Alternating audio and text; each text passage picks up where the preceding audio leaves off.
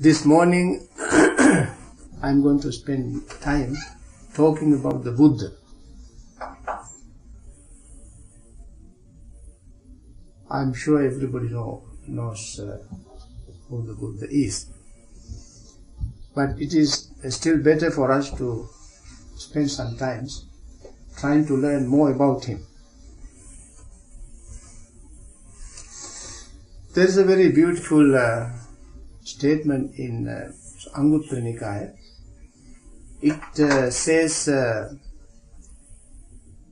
एक पुग्गलो भिक्खवे लोके उपज्यमानो उपज्यति बहुजन हिताय बहुजन सुखाय बहुनो जनस्य अत्था हिताय सुखाय देव मनुष्याण Did you understand it?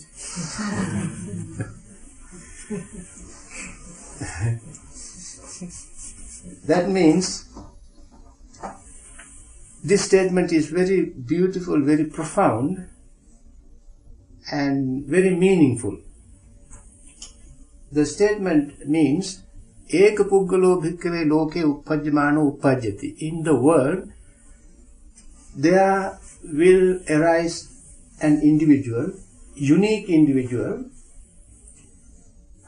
for the benefit of human beings,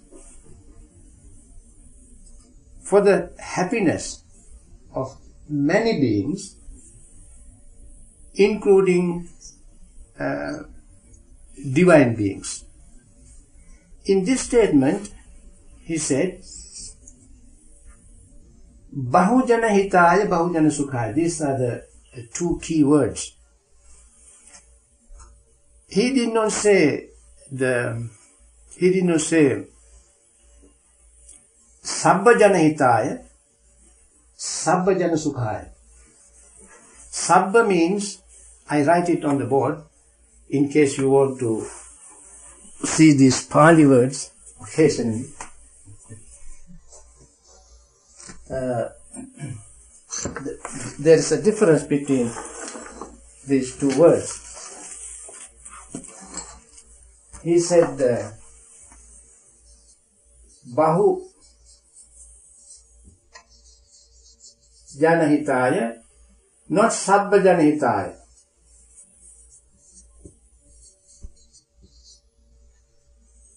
Bahu means many. Sabba means all.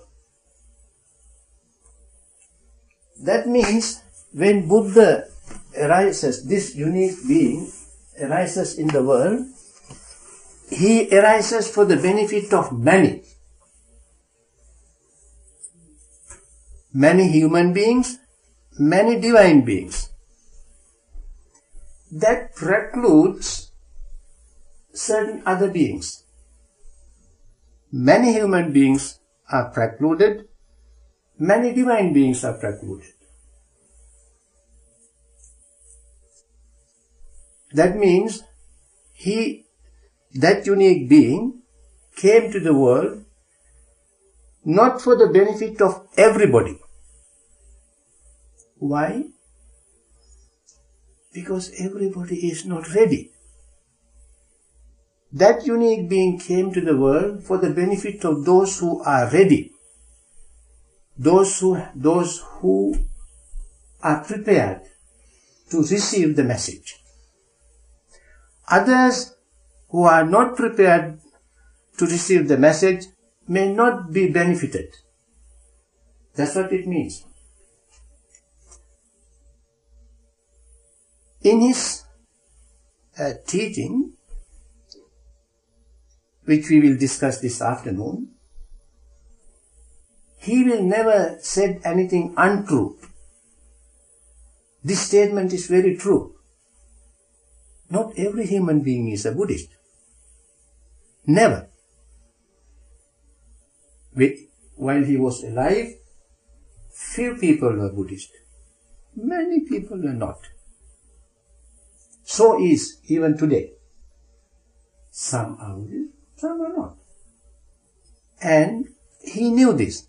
And therefore, as this unique being arised, arises in the world for the benefit of those beings whose merits are ready to receive his message. In fact, to be born as a human being in a time when a Buddha is alive is most fortunate occurrence, most fortunate event.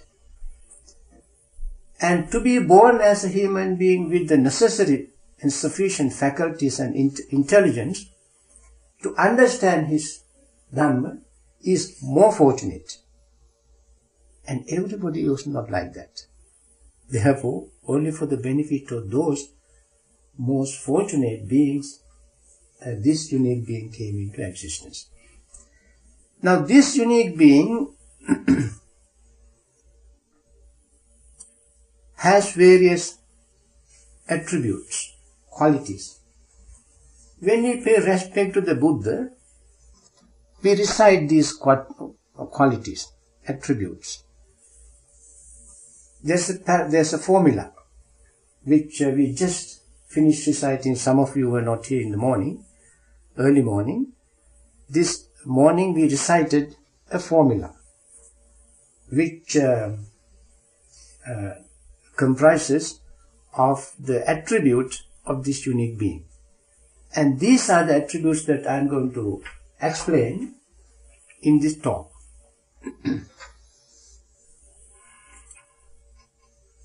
we say in Pali, ඉතිපිසෝ භගවා අරහං සම්මා සම්බුද්ධෝ විද්‍යාචරණ සම්පන්නෝ සුගතෝ ලෝකවිදු අනුත්තරෝ පුරුෂ ධම්ම සාරති සත්තා දේ මනුසානං බුද්ධෝ භගවා which means such indeed is the exalted one worthy perfectly enlightened endowed with knowledge and conduct well gone knower of the worlds supreme trainer of persons to be tamed teacher of gods and humans. These are the attributes. Now I am going to explain these attributes one by one uh, in the form of introducing the Buddha to you all.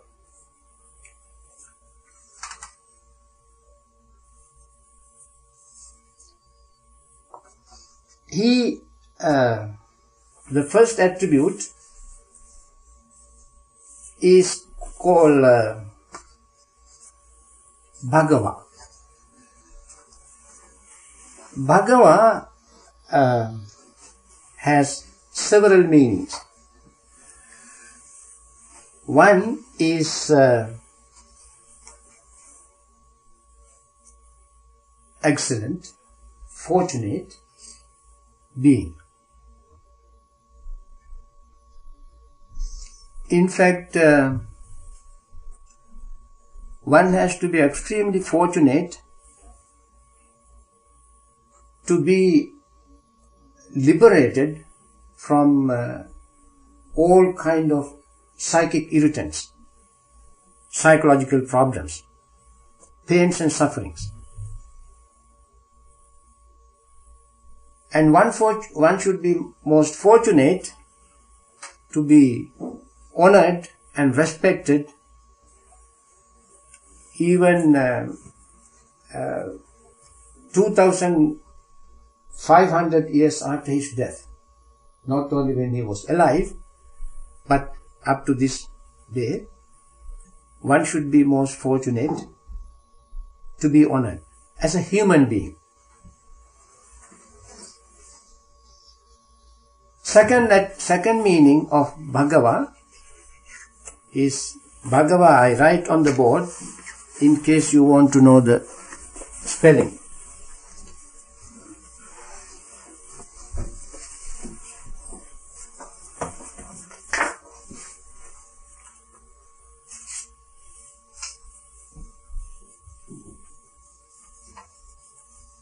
I'm sure when uh,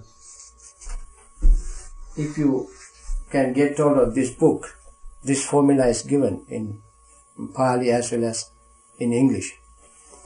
However, uh, translation also is given almost literal translation, word for word translation. But it is still better if we uh, learn the words separately, each word separately. So first word is Bhagava.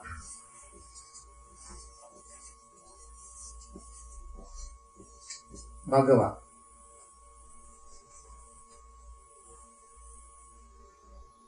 One meaning of Bhagava is fortunate, fortunate.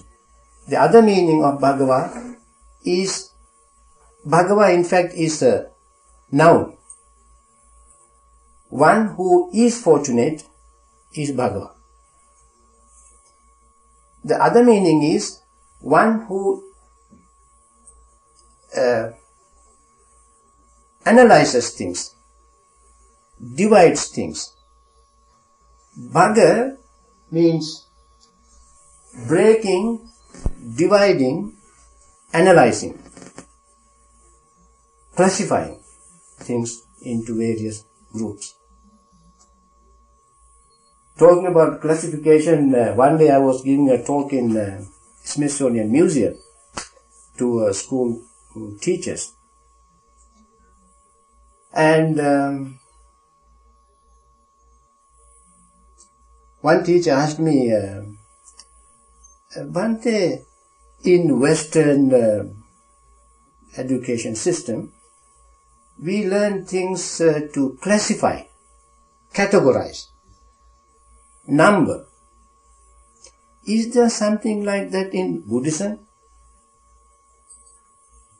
Then I gave him a list of numbers uh, all in the teachings of the Buddha.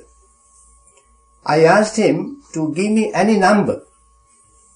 I can find something to fit that number in the teachings of the Buddha. You give me 84,000. There are 84,000 aspects of the teachings of the Buddha. You give me 5, 10, 20, 50. For any number, there is something, some category in the Buddha's teaching. That is how he divided things, categorized things, for people to make it very easy for people to understand. And therefore, he is called Bhagava, one who classifies things, divides things, breaks things in, into various categories.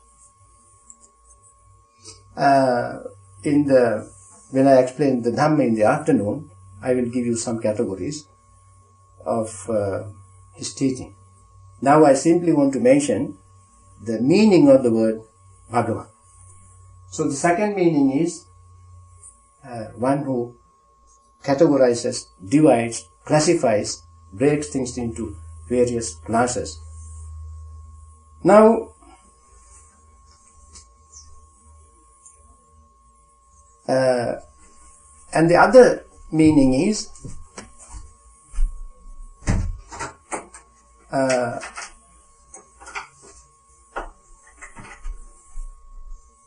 he separates bhava and vibhava. Bhava is uh,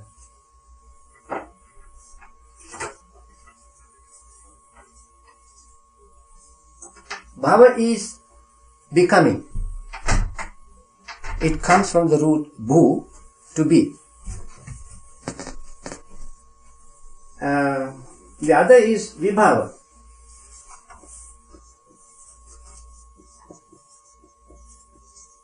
Vibhava. V plus bhava.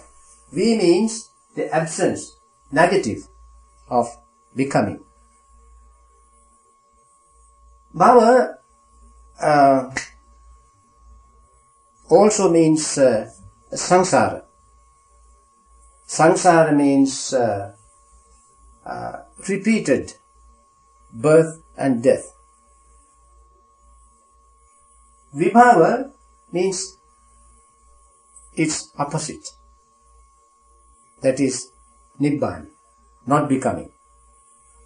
So Nibbana is um, the end of becoming. So he divided these two and classified the meaning of these, uh, I mean, uh, these two, uh, and therefore he is, his, uh, understanding of the difference between these two is very precise, and therefore he is called Bhagava. Then, uh, another meaning is one who uh, brought the uh, continu- continuation of birth and death to an end is called Bhagava. So all this means that uh, he is a unique being.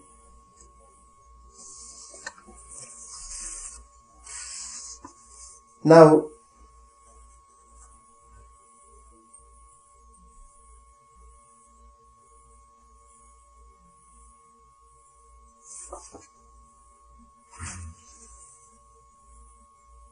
Bhagyava Yutto, he is endowed with fortune. Uh, fortune in every respect. His uh, appearance, his uh, health, his wisdom, understanding, uh, mindfulness, determination, and so forth and so on. All these are unique. And therefore he is called Bhagavat, uh, fortunate one. I don't want to, as I mentioned, I don't want to go into the details of uh, things he categorized because I want to mention them at the uh, in the evening when I when I talk about the Dhamma. So although I have mentioned these categories in uh, uh, the Buddha's uh, under under this title Bhagava, I rather suspend them since uh, we have very little time. Every uh, after every lecture, I want to spend some time answering questions. Therefore, if I spend all the time to talk, you may not have time to ask me, ask me questions. Therefore, I restrain uh, explaining uh, from explaining all these things in one talk. Uh, the second meaning of Bhagava, I rather stand, although I try to talk sitting, since um, I cannot see everybody. When I cannot see everybody, um, I don't feel comfortable to talk. So I stood up and start. I hope you may not mind that turning up. Second meaning uh, of second attribute of the Buddha is uh, arahant. The word arahang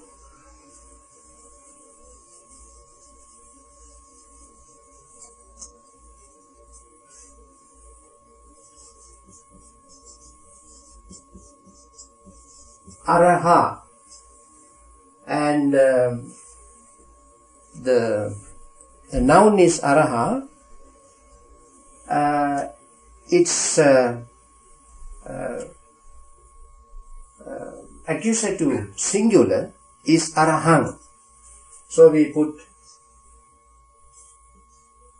arahang or m with dot on it. Arahang. And uh, in Pali, Romanized Pali text, you find uh, uh, this in in this uh, curve at the bottom to indicate n sound. Arahang means uh, suitable one meaning. Second meaning is uh, pure. Third meaning is uh, one who does not commit anything unwholesome in secret. So these are the three meanings of arahant. One meaning is uh, pure, holy, noble. Third meaning is uh, uh, suitable, worthy, worthy of reverence, respect, and so forth. Third meaning is one who does not commit anything unwholesome in secret. Like uh, average, ordinary people, they have um, uh, uh, dual personality. One in public, one in secret. In the dark, one uh, behavior. In the light, another behavior. In front of people, one behavior. Uh, when there is nobody around, another behavior. And in the Buddha's case, there was no such dual personality. Only one, whether in public or in private, whether internal or external, in the dark or in the light. That means one is 100% honest, sincere within oneself.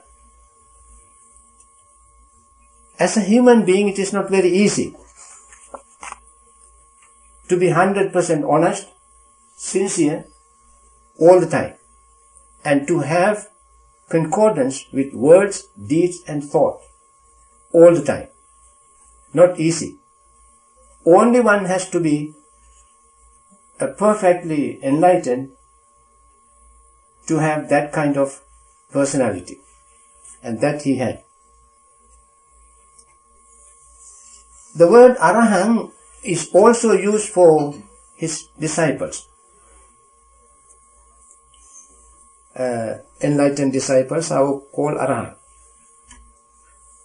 One day, uh, Mahaprajapati Gotami, uh, his uh, foster mother, brought a piece of cloth and tried to offer it to the Buddha. And um, he said, uh, uh, Mother, please give it to the Sangha.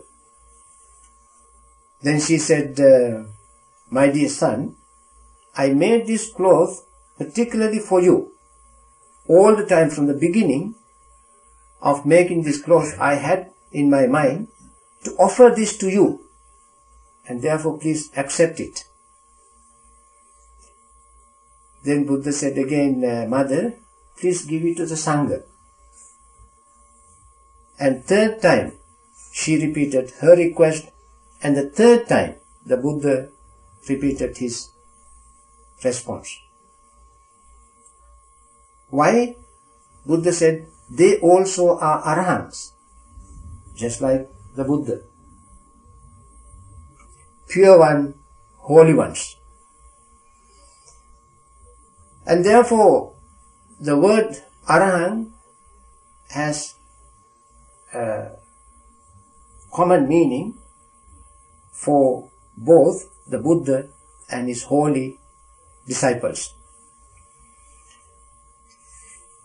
Uh, the word arahant also is used for, uh, as I said, suitable. One day, uh, when he was after the attainment of enlightenment, he was walking towards Benares and he met a young man called Upaka. He asked him, uh, Who are you? He said, uh, he, he, asked, Who are you? What is your teacher? Who is your teacher? What kind of uh, teaching uh, would you profess? Then uh, Buddha said, uh, Name acharyo atthi, sadiso me namijyati, sadeva kasmin lokasmin, natti me patipuggalo he said, I don't have a teacher. Sadisome vijjati, there is no equal to me. Sadevakasmi, Lokasmi, including divine being and human beings. Nattine patipuggalo. There is no a duplicate of me, similar person to me. And therefore I am called an Arahant. That in that uh, explanation, he explained the meaning of uh, Arahant in, in the sense that he is uh, uh, uh pure, suitable for being uh, enlightened, exalted person. Then he said he is an arahant because he at one time he said abhinyayang abhinyatang bhave tabbancha bhavitang paha tabbang uh, pahinang me tasma buddhosmi brahmana I have discarded what is to be discarded.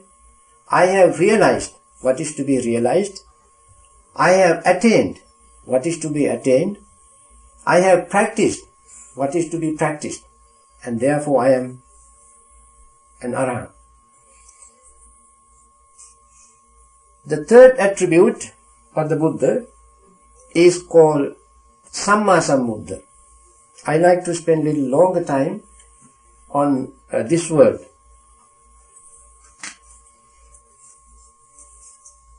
Uh, Samma Sambuddha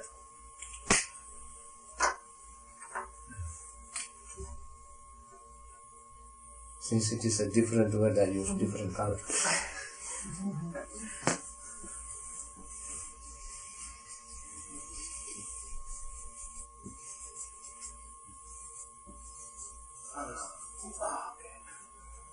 Samma, all these are A's, eh?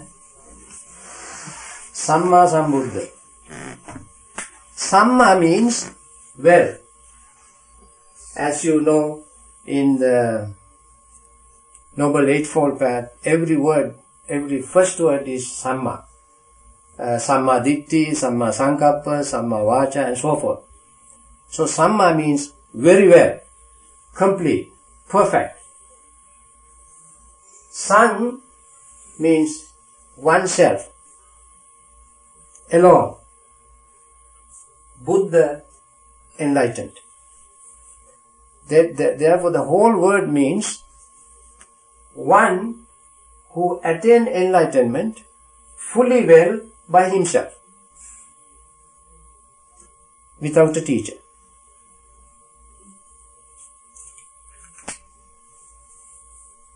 As I mentioned earlier, the word Arahant is used for both the Buddha and his disciples. When I explain this word, you probably might have uh, guessed the difference between Arahant and the Buddha. This is one difference. Now, an Arahant, his disciple, any disciple, cannot be called Samma Sambuddha. Why? Because an Arahant, a disciple, is a disciple by definition. He has to have a teacher, he has to have a, things to study, and he has to follow somebody. Only when somebody knows, somebody teaches, uh, that individual can attain that state. But the one who uh, rediscovers the truth by himself without a teacher and discover, rediscovered it fully well, completely, 100%, without leaving an iota unenlightened. unattained, is Samma Sambuddha. Now there are differences. Besides this, there are other differences between Arahant and Buddha. This is one difference. Second, Buddha has very special knowledge, ability, a skill, a power to uh, understand people. That is called uh, Asayanusaya Jnana.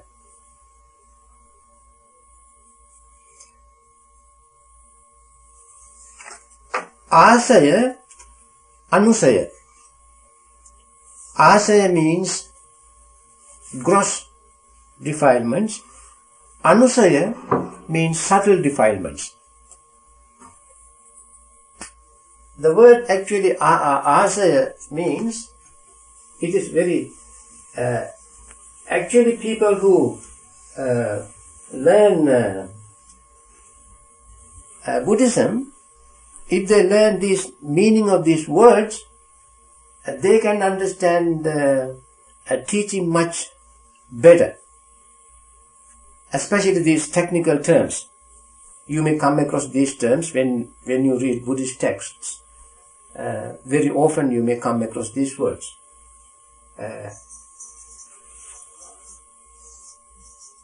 Asaya, Anusaya. Asaya means that which flows like water oozes things out, ooze things out from the body, from the mind. Uh, flow like water. Certain gross defilements are flowing, oozing out. And therefore they are called asay. asay also, its Sanskrit form is uh, Asrava.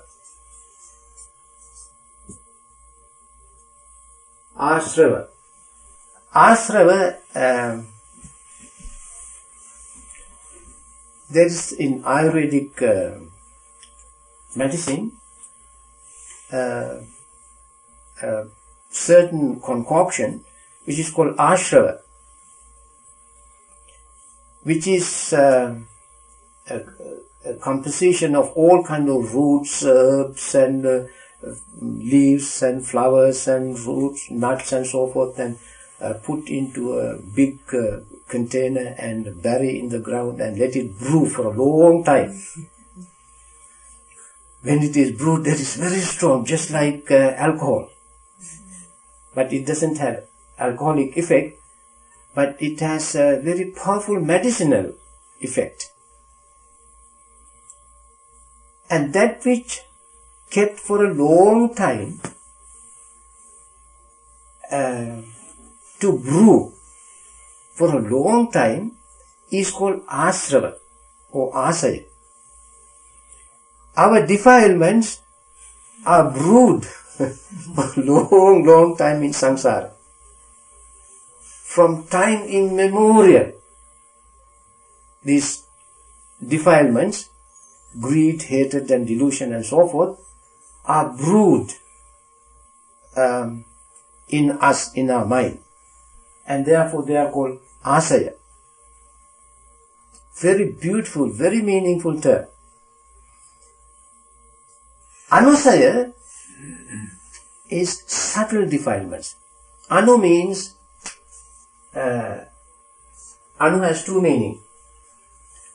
One is very small, for, inst- for instance, uh, for atom, a Pali Sanskrit word is anu. Anu. Parama anu means the finest, last, divisible matter. Parama anu.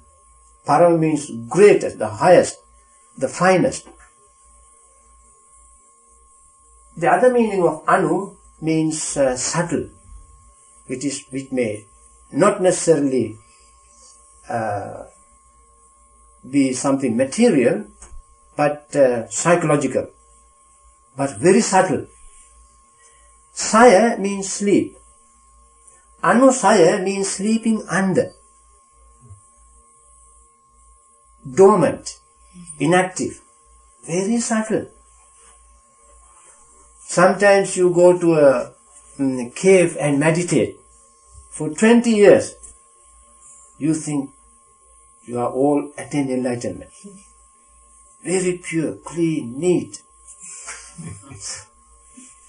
no anger, no hatred, no greed, no lust. You come to the street, then somebody step on your toes, you punch him on his nose. eh?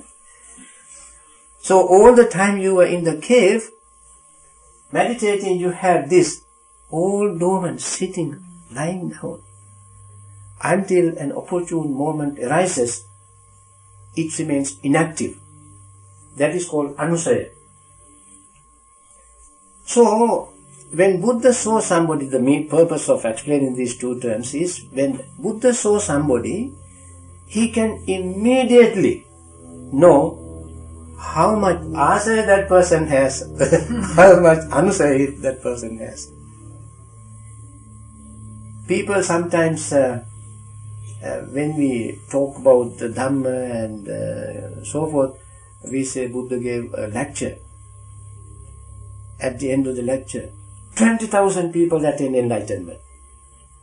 Then people say, how come these days uh, we hear lectures, Dhamma talks and read and so forth. We never heard of anybody attaining enlightenment. How come? because teachers are not enlightened. The students are not enlightened, not ready to attain enlightenment, therefore they don't attain. In his time, when he taught Dhamma, he knew every person's state of mind. How much this uh, asa the person has, how much anusaya that person has. And according to that state of uh, spiritual development, Buddha taught the Dhamma. And that is a very special skill. You may have heard all kind of stories about the uh, life of the Buddha. I mean, stories of other monks and so forth who attain enlightenment very quickly. Buddha even sometimes would give a koan to somebody. Of course, not Japanese koan. a, sort of a Pali koan. I give you one koan if you want. Just to uh, stimulate the person's intellect, he would give very short, very brief uh, statement. Like, uh, I think Mike know, Michael know that, knows that uh, in our Dhamma talks, Dhamma classes, uh, Bhavana. There was um, two brothers, uh, elder brother and younger brother. They were called Panthaga. Panthaga means uh, one who is born on the road, born on the on, on street, not big street. When the mother was going to her parents' house, she was fully pregnant. The child was born on the road, and the name given to him was Panthaga, born on the road. Very simple, easy way of giving names. Second time she was going back home to give birth to another second child, also born on the road, because she has to walk very long distance and no, you know, cars or automobiles and airplanes and so forth. She had to walk. And again she gave birth to another child. And he was called, first one called Mahapantaka, second was called, one was called Chula Pantaka. Maha means big, senior. Chula means junior, younger. So anyway, when Mahapantaka became a monk and uh, he brought his younger brother also and made him a monk, he tried to teach him Dhamma and tried to teach one stanza, four line, four simple line stanzas, stanza for four months. He could not learn. Then he said, you stupid, you cannot learn anything without memorizing Dhamma. How can you live a monk's life? Go home. Leave the road. But this young one was very devoted, very dedicated, very sincere. He wanted to remain in the robe. Crying, weeping, he slowly went to the Buddha. And, and the Buddha asked, What is the matter, Chula My brother asked me to leave the robe and go home. Why? Then he told the story. Then he said, Well, come. This is not his dispensation. Anybody can stay in this robe, in the practice the Dhamma.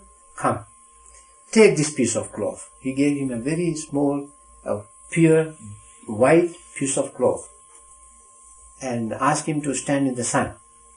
Putting the piece of cloth in his uh, palm, asked him to say a koan. What is the koan? Rajo Haranam, Rajo Haranam, Rajoharna. Very simple koan. But it has a meaning. It is not just a mm, sound, uh, you know, just a syllable, but it has a very deep, powerful meaning. What is the meaning? I am cleaning, I am cleaning, I am cleaning. That is the meaning. So he put his white piece of cloth on the left palm and with the right palm standing in the sun, he was repeating this koan. You may call even mantra. Rajoharna, I'm cleaning, I'm cleaning, I'm cleaning, I'm cleaning. After a while he saw this white, beautiful white piece of cloth, instead of cleaning, became dirty. Then he realized, after all, everything is impermanent. This body is not made of jewel, diamond, gold. It has impurities. And because of that, this became impure. Pure white piece of cloth became impure, dirty cloth. Because of my rubbing, sweat, standing in the sun. Thinking of all these things, very quickly he attained enlightenment. With certain supernatural powers. Of course, he was ready, Buddha saw his uh, state of mind. He, how much asaya he had, how much anusaya he had, and according to that, he gave him the mantra, koan. And this only Buddha can do. This is one difference. I mean, the second difference. First is Buddha attained enlightenment by himself. Second difference is that uh, he is he was able to see people's defilements how much they what degree of uh, defilements, uh, I mean, to what degree they have defilements. Third difference is Indriya Paropariyati Jnana. Indriya means uh, faculties. We have all kind of faculties. We have uh, Indriya means senses. We have six senses, including the mind. These are, are material senses. Eye, ear, nose, and so forth. And they are called Indriya because uh, what one sense does, the other sense cannot do. Therefore, in that particular area, that sense is the chief. Indra means chief. In um, uh, Pali Sanskrit uh, king of God is called Indra. Indra means chief of God. Indriya means that which is chief. That which is chief in that area. So in seeing, nothing else is chief as eyes. Therefore it is called Chakku Indriya. In hearing, nose cannot do that. Only ear can do it. In hearing, therefore, ear is the chief. Therefore, ear is called Sota Indriya. Like that, we have six Indriyas. Chakku, Sota, Ghana, Jiva, Kaya, Mana. In addition, we have five other Indriyas. Chiefs. They are called I'm not going to write all these Pali words because it's a long time it might even confuse and you may not even learn anything. So I like, like only few uh, necessary uh, keywords. Saddha. Chakkusota, etc. you can um, find everywhere, but this was not uh, Saddha Indriya.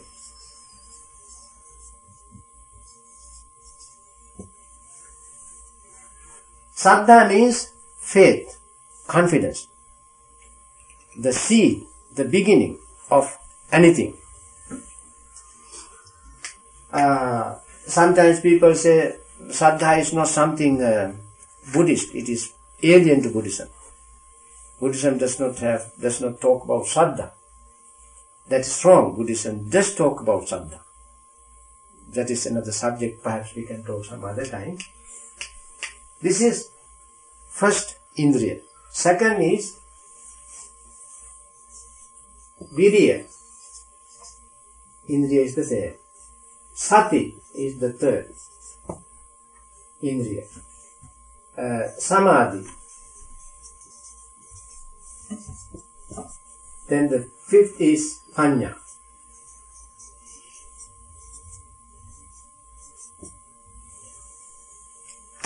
Now, Virya is energy,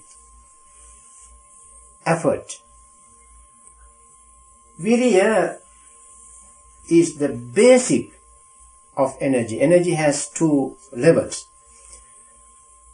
Uh, one level is the basic necessary virya, basic energy. Uh, the second level is when the energy is active. There's another word for that. For that. When the energy is just dormant, it is energy but uh, not active. Just like any energy when it is in the wire, it is not called electric. What do you call it? It is not called light. When energy is in the wire, it is not called uh, uh, what do you call uh, refrigerator or cooling power or heating power or anything. Likewise, when energy in Pali, spiritual faculties like virya, when it is dormant, it is called virya. When it is active, it is called vayama.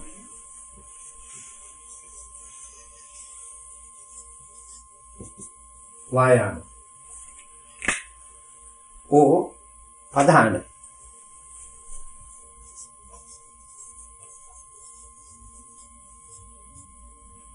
Adhana. These are spiritual faculties. the third spiritual faculty is called sati, the most important spiritual faculty. The chief, head, the crown, the diamond of spiritual faculties. The fourth is called samadhi, concentration. Fifth is called panya, the crown. When Buddha saw somebody,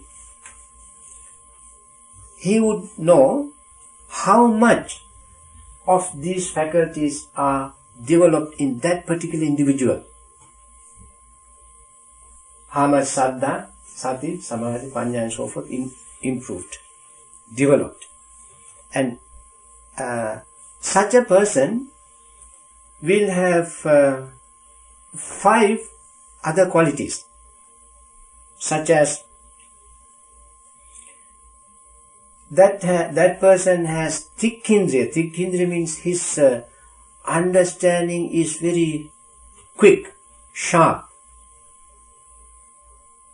That person is uh, uh easily uh, easy to uh, teach.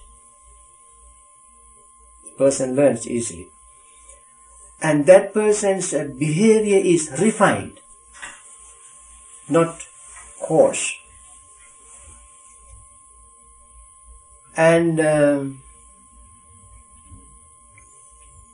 uh, that person's uh, uh, general behavior towards words, deeds is more refined. And that person is also finally called has uh, uh, um, the understanding of the the defilements. That person would uh, we would have fear of uh, doing anything wrong which brings him harmful effect. That's called paraloka vajja bhayadassavi. As soon as Buddha sees somebody, he sees in that person these five spiritual qualities as well as those five additional qualities in that person immediately. And according to that, he would preach Dhamma. This is the fourth difference between the Buddha and Arahant. Arahant doesn't have that. To recap, the first difference I must say is the Buddha attained enlightenment by himself. Second difference that Buddha uh, knows people's defilements, degree of defilements. Third difference is that uh, Buddha would be able to know how much uh, spiritual faculties these people have developed. And the fourth difference is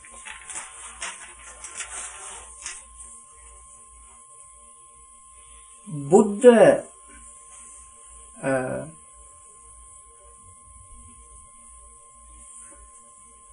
has a very special ability to perform miracles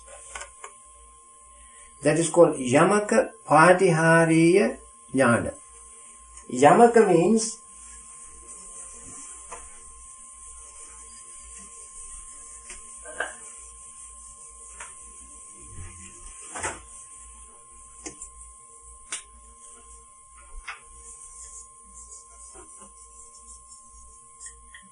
Yamaka Patihariya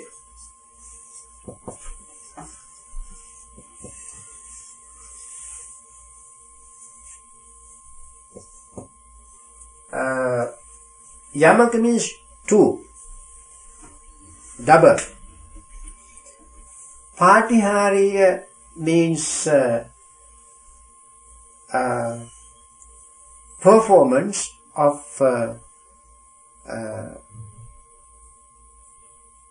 supernormal uh,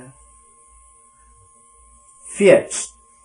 That means being the skill of performing certain things that appear uh, to be uh, too different. Like uh, when he met his uh, relatives for the first time after attainment of enlightenment, when he came to uh, Kapilavatthu, to see his uh, father, his former wife and uh, children, child and so forth. Uh, these people being um, royal uh, members, being very proud, did not want to pay any respect to him and did not want to acknowledge his attainment of enlightenment. In order to humble them, he performed this miracle in which uh, two things appeared almost simultaneously at the same time. Like water coming from one pore of his body while a gush of, uh, no, flame of fire coming from another pore of the same body at the same time. That was just uh, possible only for person like Buddha. Nobody else can do that. No arahants can do that. And that is the uh, fourth difference. Yamaka Patihariya Jnana. Jnana means knowledge. Fifth difference is that uh, Buddha had uh, Sabbanyuta Jnana. Sabbanyuta Jnana means, when we translate into it into English, it means uh, omniscient. Omniscient. All knowing. This is very tricky term, tricky knowledge.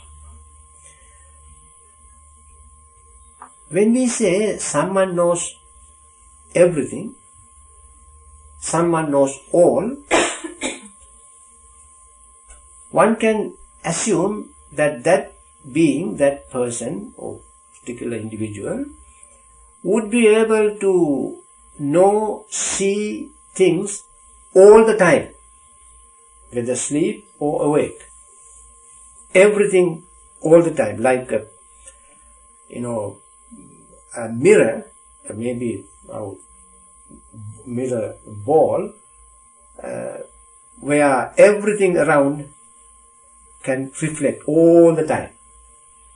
That kind of sometimes people can people may think uh, someone may have that kind of uh, omniscient uh, knowledge.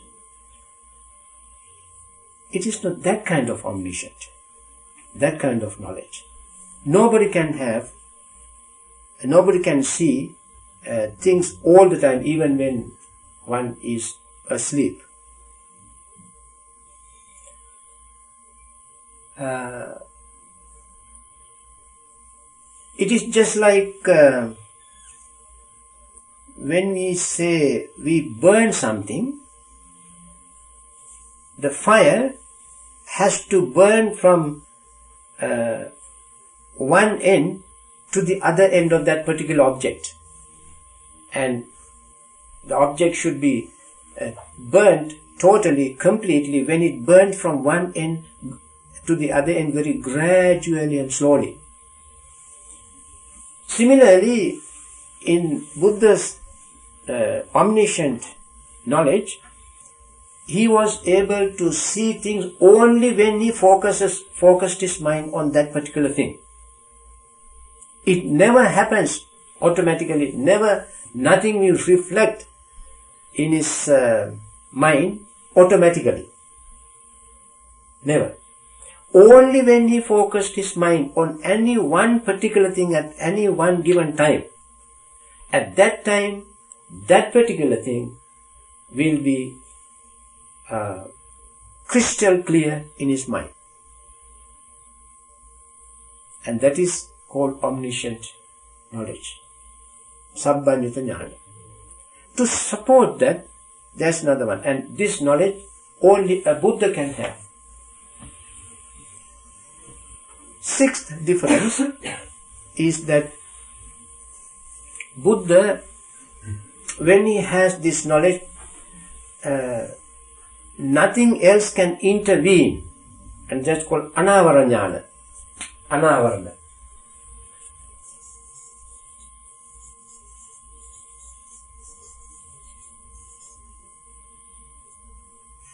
I pronounce sometimes V as V, sometimes W. So it doesn't matter how you pronounce it. In Pali there are no V and W. Pali and Sanskrit there is only one. You may pronounce it as either as V or, or as W. And uh, many Asian languages are like that, like that. So, Uh, avarana, avarana means blocking, obstructing. Na avarana means anavarana. Anavarana means that cannot be blocked. Nothing can intervene. Come in between what Buddha wants to see and him. Nothing can come. And that is called his sixth knowledge and difference also between him and his disciples.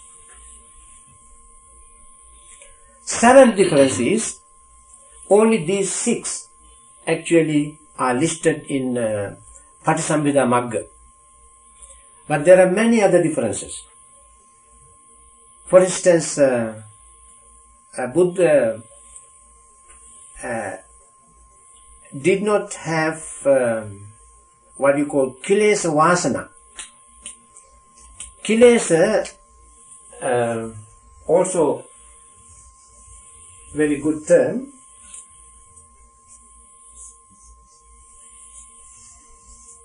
Kilesa vasana.